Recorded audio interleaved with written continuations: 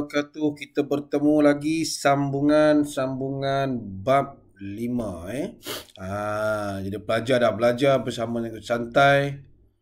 Ha, dua tiga hari lepas tajuk berkaitan dengan gagasan Malaysia. Tajuk kita pembentukan Malaysia dah eh. Okey, kita nak sambung. Ha, hari ni kita nak pergi kepada tajuk reaksi negara jiran. Uh, reaksi penduduk tempatan. Okey, cuba kita tengok pada bahagian di SKP ni. Sikit dari SKP. Sebab cikgu dah terangkan hari itu. Pada hari ini kita nak pergi kepada reaksi negara jiran dan reaksi tempatan. Lah. Tempatan ni Sabah, Sarawak, jiran, Singapura, Brunei, Indonesia. Ha, dia berkait tu sebab nanti kita akan sambung pada tajuk bahagian uh, konfrontasi. Uh, kita akan pergi pada reaksi ni dulu. Mesti ada reaksi. Eh. Uh, takkan tak ada reaksi bila kita nak buat sesuatu kan? Okey. Kalau kita tengok antara kebat dia. Uh, kesepakatan lah eh. Dia lebih pada Surajaya Kobot. Dia ni adalah macam mana kita nak menjelaskan menerima ataupun meraihkan perbezaan. Ah nampak dia. Yang inilah ya. Menerima meraihkan idea pandangan yang berbeza. Ha, kita raihkan lah. Ha, ingat balik, kita dah buat, kita dah belajar, kita dah cuba kuasai yang ini, 5.1 dah habis. Hari ini kita nak tengok 5.2 yang cikgu sepadukan dengan modul terbeza. Ha, Kintas Selatan dan juga modul Galus Kejo A 2.0. Okey, kita tengok soalan ni dulu. Okey, kalau pada tengok di sini, uh, ini adalah reaksi tempatan negara jiran terhadap pembentukan Malaysia. Okey, soalan pun mudah saja.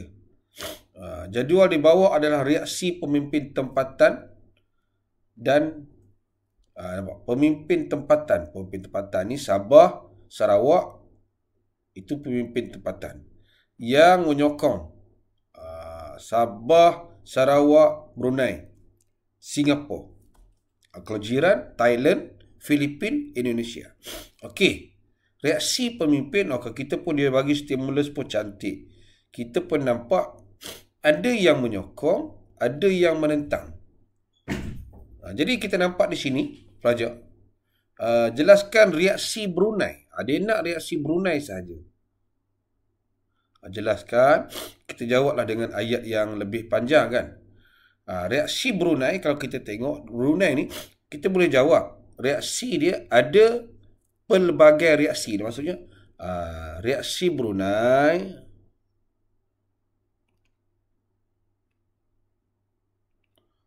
ada pelbagai reaksi.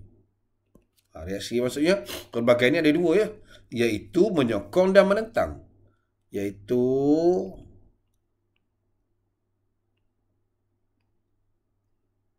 menyokong. Kalau kita kata sokong ni. Uh, menyokong ni pada peringkat awal disokong oleh Sultan di sini. Uh, iaitu menyokong pada peringkat awal.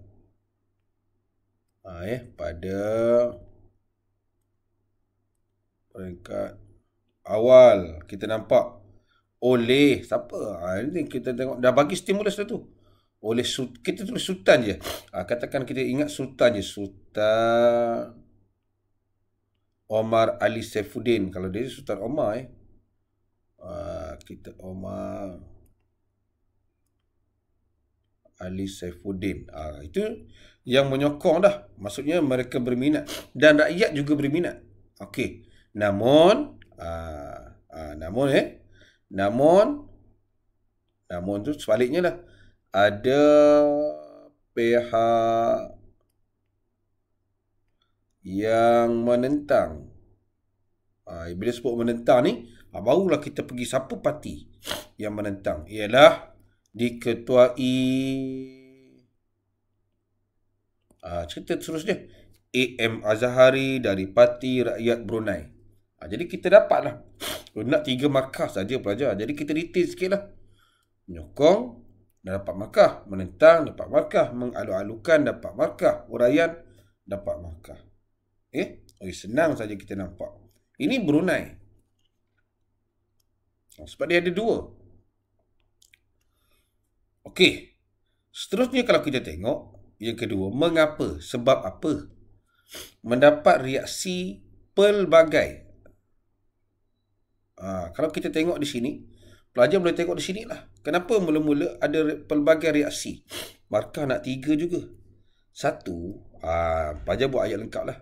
Ha, kalau kita tengok pertama sekali pada peringkat awal ni, rakyat Sabah ni dah selesa. Jadi pada peringkat awal ni, penduduk Sabah ni dia berasa curiga. Curiga lah bila orang luar nak datang. Kita curiga lah. Ha, kenapa dia curiga? Mesti ada sebab. Banyak uraian yang pelajar boleh letak di situ. Ha, kita tak ada katakan dua atau tiga lah. Pertama pada waktu itu kalau kita tengok perdagangan dia dua P eh. Perdagangan perkhidmatan kita nampak dua P ni. Uh, di Sabah ini baik.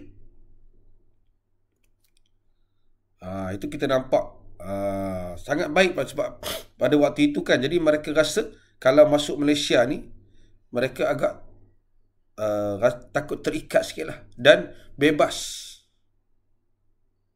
Itu dah dapat makan dah pelajar.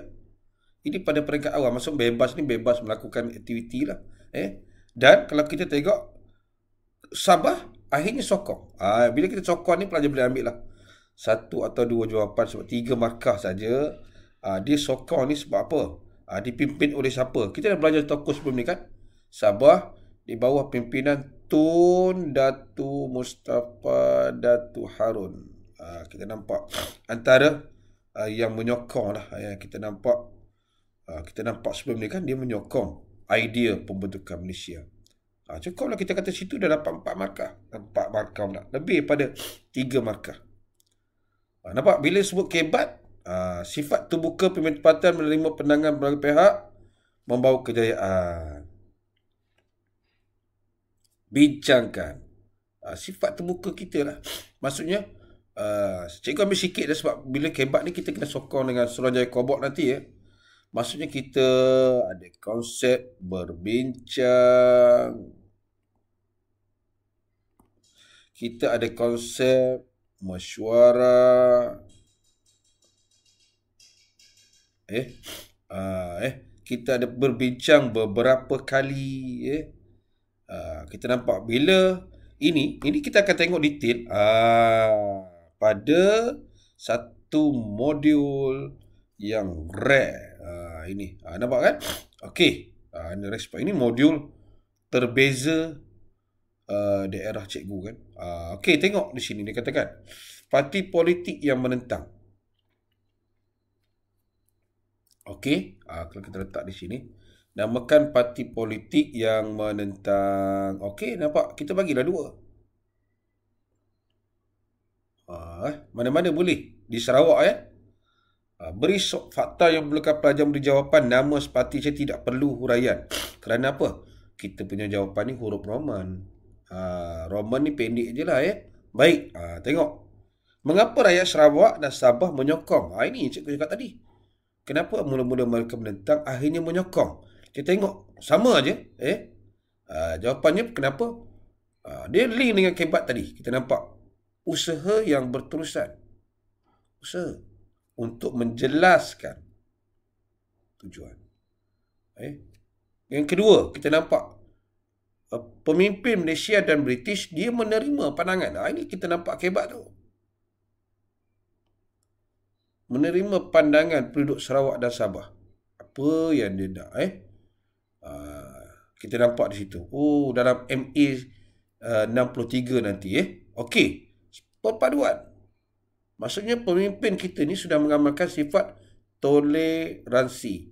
Jadi pelajar, dia secara tak langsung menjawab soalan di sini. Uh, di sini. Lahirlah. Okey ni eh. Nampak di sini kan? Dan Ah, kita bagi itu. Sorry itu dah boleh pecah dua tu eh. Uh, C. Soalan kebat memerlukan pelajar berikan jawapan rasional sebab rakyat Sabah dan Sarawak menyokong pembentukan Malaysia. Okey, ha, ini bincang lah. Nampak? Nama pernah suruh bincang kan? Sekiranya tak menyertai Malaysia, apa jadi pada Sabah dan Sarawak? Okey, satu lagi sebelum cikgu stop. Uh, stop. Uh, uh, boleh juga anak-anak uh, bagi negeri Perak tengok modul yang akan dilancarkan nanti berkaitan dengan tajuk modul ini. Uh, nampak? Yang ini ada nota kan? Uh, reaksi Sarawak, penyokong berjasa. Siapa nama pemimpin dah ada sini?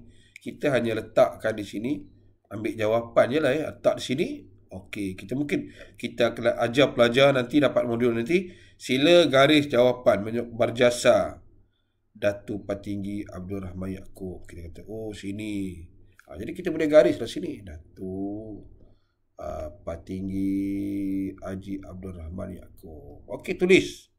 Yang menyokong siapa dia Datuk Bandar? Abang Haji Mustafa. Oh panas. Ha, jadi kita akan combinekan nanti. Anak-anak dua modul yang rare ni. Uh, ya sorry. Uh, daripada modul galus dan juga modul terbeza. Oh jadi makin mantap kita punya perkongsian.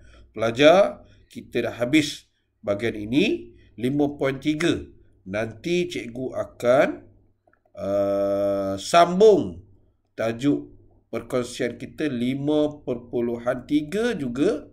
Sambung sikit lagi reaksi negara jiran. Kita lepaskan dengan 5.6 okey cukup setakat ini anak-anak kita jumpa lagi pada hari apa ya? Uh, tengoklah insyaAllah. Esok-esok cikgu buat lagi ya? Okey sedikit bimbingan video dapat membantu anak-anak kuasai sejarah